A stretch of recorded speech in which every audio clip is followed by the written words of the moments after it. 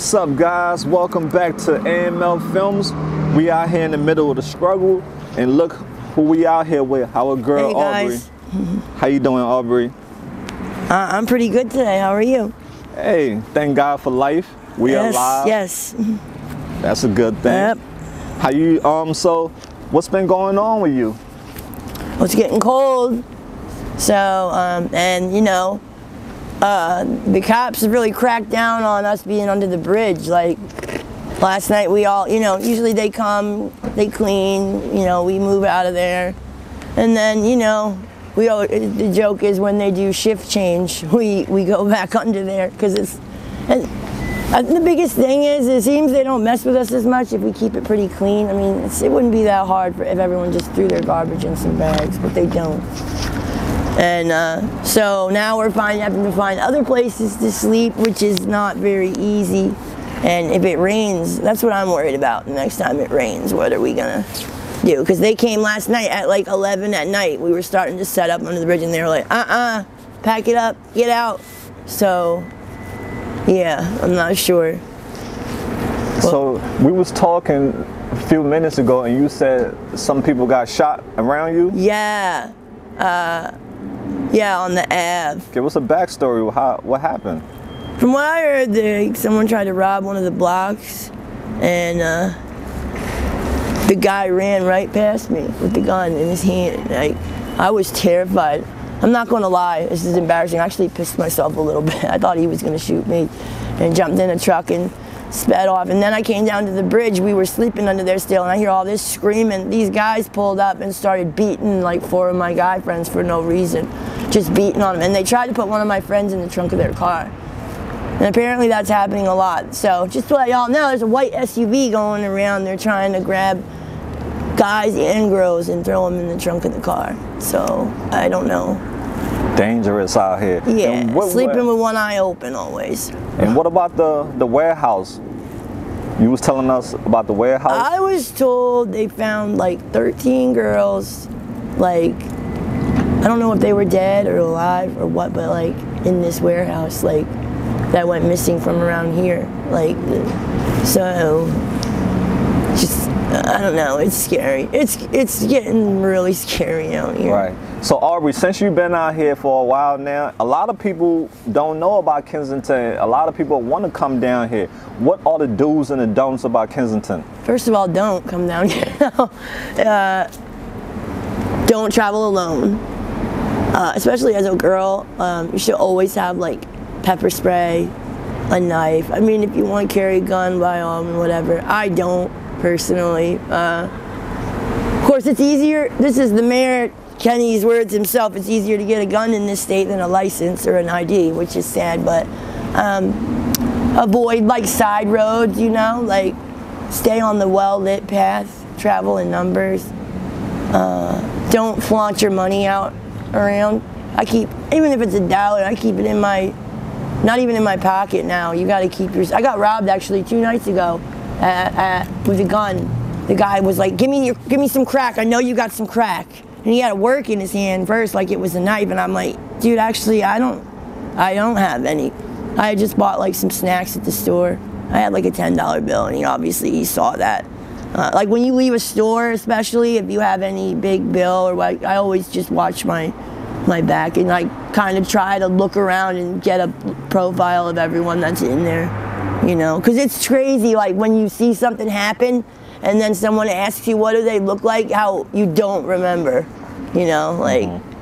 I don't know, you know, like you give a very vague description. Right. But definitely, like at night, if you can avoid going anywhere, like for sure. I, my husband doesn't let me go anywhere alone at night anymore.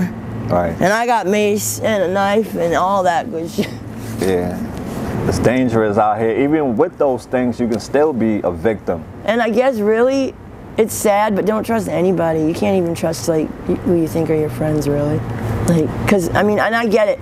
I'm not. I've done some dumb, some horrible shit too. I'm not gonna sit here and say like I'm perfect, cause I'm not. Like we're addicts, and people get desperate and will do anything to get that. Gotcha. So you you said your mom has been watching your videos. Have so Yeah. Hi, you been Mom. you been in touch with your mom? I talk to my mom. I. It's sad. Every other day, really, I call her to ask for money, like every other day, and I'm sorry, mom. I always tell her I'm gonna give her a break, and it's it's true. Like I call her like every other day, and first I want to thank my mom because I don't know what I would do without my mom. Like Right. when my mom passes away, God forbid, I'm probably gonna have to throw me in the hole with my mom. I miss my mother so much. I'm very lucky that mm-hmm. I still have that help from my mother. Of course, she's getting, she's put her foot down before, and I was very proud of her actually in the past for like, she always like now she'd be like, no, I'm gonna be saying no. She's and she says like she's worried. She says no, like what I'll do to get, you know, the money and Yeah. It's tough for your mom, and I'm sure. And I'm an only child, so I can too. imagine how. Right. And I, she's in South Carolina, and I'm here, and I'm, I'm on the street more than I am at home, and it that puzzles her. Yeah. Like you know. So you know we have to get real about the situation that you're in, Aubrey. It's, it's life threatening, girl. You know, and you know the transformation of you. Oh we yeah. pray that that you'll find strength. What do you think is is going to take to get you off these drugs, Aubrey? Because you know you're running out of time, love. Oh, every day is a a, a, a gamble. Every uh, get high is a gamble, really. You know, Yeah. we don't know what's in this crap. We're, you know, we, we just believe and trust that it is what they tell us.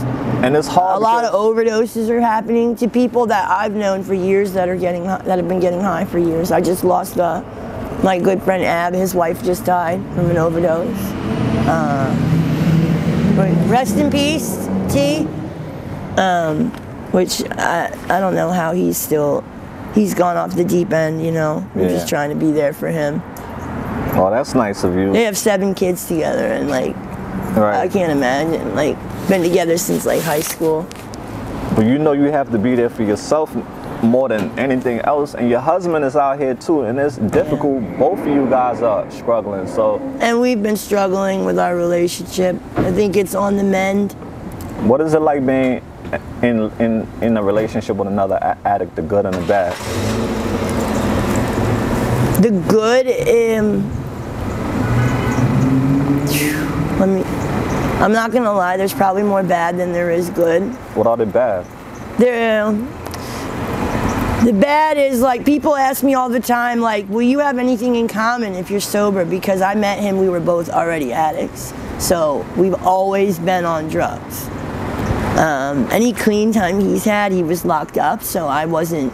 And when he got out, he immediately came down here and which I always say, why would you do that? I wouldn't, but I, you know what? I can't say because I've never had that happen. I mean, I can't imagine being in jail on a 23 hour lockdown with one hour out and you don't even really go outside. He said you're in like a box with like some sunlight. Uh, you know, and you're in like a room that's probably as big as where we're sitting with like three other people. That that's just, but um, the good part is like with him, we've done some screwed up stuff to each other. Like I said, like you can't. If I were to be honest, I would tell you that we don't trust each other. We definitely don't. And really, with love, you've got to have trust. Mm-hmm. Um, so of course, I know too when we are ready to go to rehab. Which think about it, like people always be like, "Your husband's ready," like before he was ready to go, and I wasn't. And I told him, like, "Look, I love you. Like if you're ready to go, please go. There's nothing more than I want than for him to be to be clean." All right. and I want us to be clean together. But I know because I've done it. He hasn't done it. He's never gone to rehab or tried to quit. I've quit cold turkey. I've gone to rehab. Like, but you have to want it for yourself. If it was as easy as those that we love wanting it for us, none of us would be on drugs. Right, right. Um, but the, like so, it, codependency that's a big thing. Like it's in every relationship with drugs. Like you know, um, but the good thing is you know, not many people can say you know that their other half slept next to them on the sidewalk every night, no matter what. The good thing is like when it is good, like we split every little thing down the middle. If we one of us gets a cheeseburger in traffic, we split that thing in half and we both eat it. You know Right. Um, it's good like the good part i guess is that i always have somebody That's great. there with me All right. i couldn't do it without him really So Aubrey, I'm going to give you the phone for you to look at the comments in your video. Don't pay attention to the hate. Only just pay i don't attention. see many hateful comments i haven't gone through all of them i remember my first video i think i saw one out of like 2000 so i want to say thank you to all of the positive words and I Yeah. apologize. I don't have a phone right now. Yeah, to, we know the situation. there, and So every you- time I get one, it's stolen. If you see any name and the person that says something nice about you, can you say their name and, and tell them, you know, read their comment and give them a shout out? You could just do like three. I love these ones where it's like Australia sending love, happiness, and strength from Jacques Carp, and then uh, Louise um, says like, "Hi, I'm on the other side of the planet." Like that's just so cool to know. Like there's people all over the world watching this. Like it, that's crazy. And they're rooting for you. Yeah, like and like, wh- who am I? Like I'm just uh, a, No, a, you matter. a dot like in the world, but to them, I guess No, you matter, love. It doesn't matter your situation right now. You're still a, a human being. You still have friends and family this who love you. not really. This is irrelevant, but it says Mackenzie Lynn says, "I'm sorry for my ignorance, but what exactly are they referring to when they say trank? Trank is tranquilizer. They put animal tranquilizer in our dope now, and that's why we're getting all these like holes because we're not supposed to shoot this stuff, or it doesn't matter now if you shoot it. From the doctor's words, whether you smoke it, snort it, you're gonna get these these sores, and the only way they're gonna stop is if you stop doing dope. So yeah, trank is tranquilizer. Um, you know, they don't think about it with an animal. They don't shoot that in their vein. They shoot it in their muscle. Even when you muscle, there's stuff. It, so that's what that is. Just it's a little off topic, but Awesome. just to let her know. Yeah, that's edu- educating the world. And that, my mom, I remember, not to upset you, mom, but she's like, you know, they put an animal tranquilizer in that now. I'm like, not to upset you, but that's what we want. That's what we do. Like, and trank actually, just to educate you, like, if you do fentanyl with trank in it, that's another a, a withdrawal in itself. So like if I do some dope, I'm sick with fentanyl and there's no trank, I will still be sick because you have. And the detox from trank, that's the whole problem now is people they keep making stuff to get people off this and then they put something else in it. So with trank, when you withdraw, it's actually like alcohol withdrawal. You'll you shake, you'll have a seizure. It's it's really serious. Yes. It- you read one more positive comment and then say their name, Yeah. then we'll be closing up. Yeah, you got like 900 and some more. I know. People are rooting for you heavy. Even I get hated, so don't pay that no mind. People talk. Oh, this one's negative. Oh my Yeah, god. skip the negative. We'll, Wow. We'll pray for them. Yeah, we'll pray for them. Yeah, Bessie, man, I will pray for you. Mm-hmm. Infection all over. We're not God. gonna let that, that hate rub off rub off on us. Uh, this one's simple, but I, I, it says, Lady Chatterley, stay strong. You can do it. Take one step at a time. And that's all it is. One step at a time. Okay, that's oh great. oh my Aubrey. God, these are horrible. Yeah, that's that's all I wanted you to read. Just you know, a few and give them a shout out of the positive ones. We try not to pay attention to the hate. Sorry. It's all right. You know, Aubrey don't have the luxury of using a phone every day, so she appreciate it. She appreciate it when she do get on the positive words that people say. Okay, so Aubrey, we're, we're done with the phone. Yes, please take this ask away you- from me. God, that's terrible. Oh, people saying some horrible. Oh, one last thing. Yeah. Aubrey, this someone says Kelly Roach. This one's nice. Aubrey, you are such an amazing person. Please get help. You're young and have so much of your life ahead of you. You'll be a great inspiration to so many and could help so many people by getting clean. We're praying for you and we're behind you all the way. You're an amazing young lady. You're good enough and deserve to have a great life. Say that to yourself every day. Thank you. That's really, really nice. Yeah, and that's what we I love. hear stuff like that all the time, but sometimes just seeing it like Mm-hmm. is different. You know, I really much love from East Tennessee, from Connie. Thank you. I love seeing from the South because I'm from the South. Right, right. So Aubrey, when you when you look at the world now, right? What change would you like to see happen in the world? I love people not to be so judging, especially if they like everyone's situation. I think I said this before, like like when my husband, for example, his his mom passed away just before I met him, and a lot of people are out here because their parents passed, and I, I can't imagine. And I, my parents are getting older, and it terrifies me every day. Like I'm not gonna be there, you know, when my parents pass away, or I'm gonna b- die before them, God forbid. God forbid. And um, I'm sorry, I just like drew a blank. Well, oh, the world. What would be Yeah, uh huh. Um, what change would you like to see in the world? Just I, people could just be more understanding and step back and maybe just take the time to talk to people and and like you like when you ask us like I like when you ask us like our favorite color you know mm-hmm. because I feel like it makes us it humanizes us more like we're just like everybody else right. you know You just gotta struggle. you like when. I talk to some people that are sober and like we have things in common, like you'd be surprised. They're like, "Oh my god!" Like it's like, yeah, I'm a regular person like you too. I'm just Right. fucked up a little. That's all. Right.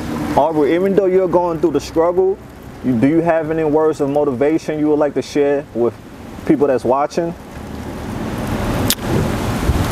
Um, what do you like? Yeah, any motivation, any words of motivation you can give to our brothers and sisters who are off drugs and the ones who are coming down this road. Well, The ones off drugs, like you people, you are the ones. Like when I read those comments that are like, "Oh, I'd like to help her because someone helped me 23 years ago." I can't imagine being clean. Like I can't imagine since I was in high school. Besides the time I got sober for like nine months, I've never been without any drug like for like 12 years and I just can't imagine. I'd love to be like I haven't had any drugs in 12. So you guys motivate me, you know, like that can be me one day. And it I hope it will be me one day. amen. We speak that into existence. We would love to see you, those pictures that I went on your Facebook. Like I'd love to see you. oh I know and I don't know uh, if you know like someone told me someone put like something up of me and Spike like a an old picture of us and they're Uh-huh. like oh my god you know Yeah. The before, before Yes. the struggle. This is show people what you look like before the drugs took over. And Yes. you're still a beautiful person. And I'm gonna give you a card for you to always hold on to this card because you matter, right? So I'm gonna give you two bags, one for you and one for your husband, all right? We got Thank some hats, you. gloves in there. You can open it up to that's see awesome Thank what it you is. so much Yeah, no doubt. You know, we're here with you. We appreciate all of this and stuff. Oh my gosh, my I got more favorite stuff in there. for you too, Oh, those work really well. right? I can imagine. I don't know if there's people, I know people like that are out here that have phones. Yeah. Like, if you have a tent and you layer this over your tent and Mm-hmm. then put a tarp, that thing will be like an oven. All right. I have to sit outside in my t-shirt sometimes. Like, those Well- work. So, what would you like to say to the AML family because they're the one who put, send these things and we make them into bags so that way everybody can get a fair share because Yeah, people are definitely. And like, what I hate is when people take stuff here and they go try to sell it. Like, come the hell on. Yeah, Sorry, that's God. right. so Aubrey, do you so so you do still have hope and that's a good thing, right? Faith and hope. Right. Yes, that keeps me going. And I'm not wintertime- super religious, but I do all right. pray every day. And Hey, that's all that matters. some things happen to me, and I'm just like, there's no other explanation than right.